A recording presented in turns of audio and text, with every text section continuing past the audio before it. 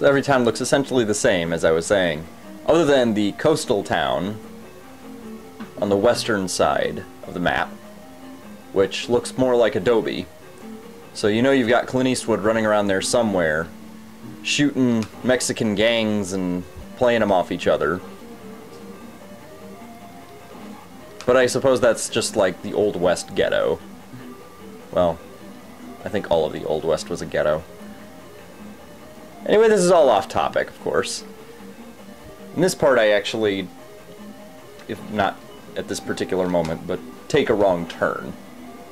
So I'll have to try to find some bullshit when the time comes to, to cover my ass with that. But hey, this is a big level. Give me a break. And they don't give you a map in this one. That that's one of the things that I found a little bit frustrating about this game. As cool as I thought the level designs were in comparison to the old ones, you never get a map. You get a key, you get a big key, but there's no map and compass, you know, the, the staples. Although I guess this was the time of experimentation. You know, you have the Castlevania formula getting shook up by Simon's Quest, and you have Zelda being shaken up by, well, this. Ugh. Finally have the power to kill one of those fuckers with some degree of ease, and I really felt obliged to let him know. Not that the fireballs made any difference.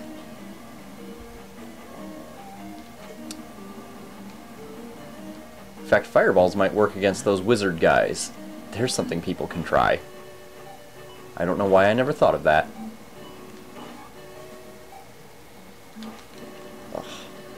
I was determined to try to kill one of those bastards, but with those flying heads shooting loads at you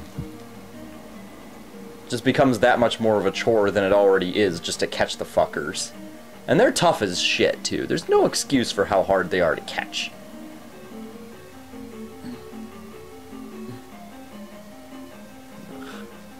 and then just ignore him. Just just ignore him. He's trying to be a ninja and failing miserably. Succeeding more in being a douchebag. Although most enemies in this game succeed at that in one form or another, like these guys. In fact, these levels should just they're, they're like the breeding ground, the gathering place they are the Stonehenge for douchebags. Not to the degree that Ghosts and Goblins is. I mean, you can't get worse than that. I mean, if if there's a game that has every cockstain known to enemy bestiaries, Nintendo games, it is Ghosts and Goblins. There is no no lower tire to get to.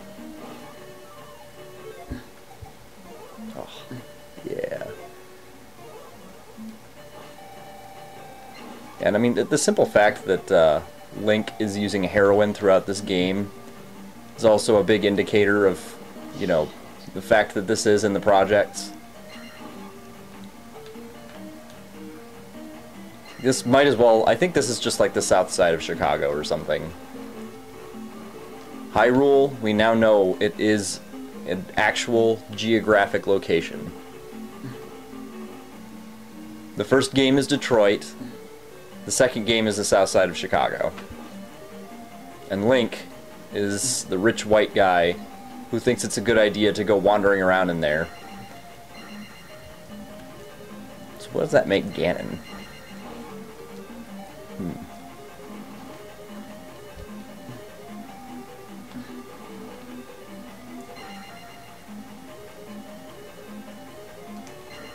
Yeah all of that was my absolute genius navigating. Once again, a complaint of where the fuck is the map. Don't even get, I don't even give shit about a compass. Just give me a map. I know the levels aren't that big, but in levels where you run into quite a few obstacles, you know, platforming, pits, lava, Indiana Jones type of shit, the least they can do is give you some idea of where to go. Fighting them in close quarters, or I should say running from them in close quarters, is such a bitch. I really should have done this level on a day when I had more time. Then I could have killed all those fuckers.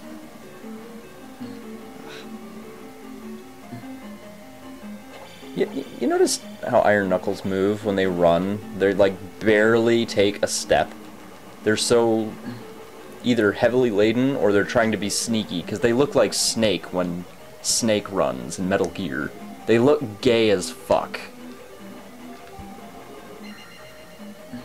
Even though Snake is a badass, a certifiable bad motherfucker, when he gets running,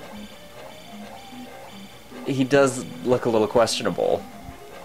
That's why you crawl around, or, or, as in the case of Metal Gear Solid 4, crouch and move. Oh god, and especially don't go upstairs. That's just the worst. But this isn't Metal Gear. Still, it seemed appropriate, given how Iron Knuckles move their legs. Now you know I'm reaching when I'm talking about how gay an Iron Knuckle is when he moves.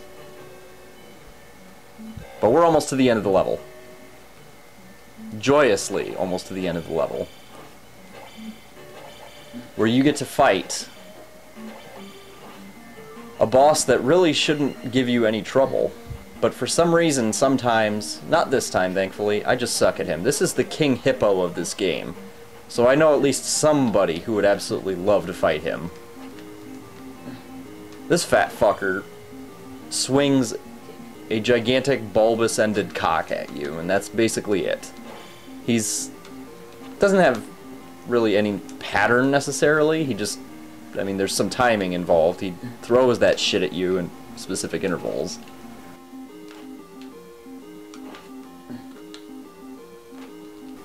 So basically, when he spins that shit, jump.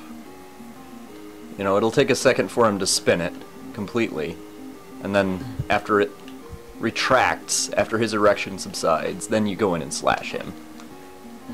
This is where your actual jump ability is extremely useful. In fact, jump is one of the most useful spells in the entire game. Now, I could be wrong, but I think once he gets lower on life, he might get a little more aggressive bodily and try to impose his massive bulk on you in a completely sexual fashion. You want to avoid that because that guy does a fuck ton of damage, even when you have shield on. Overall, he's not a particularly difficult boss. He's kind of like a slightly more dangerous version of the first boss. And after that, you claim your prize and leave.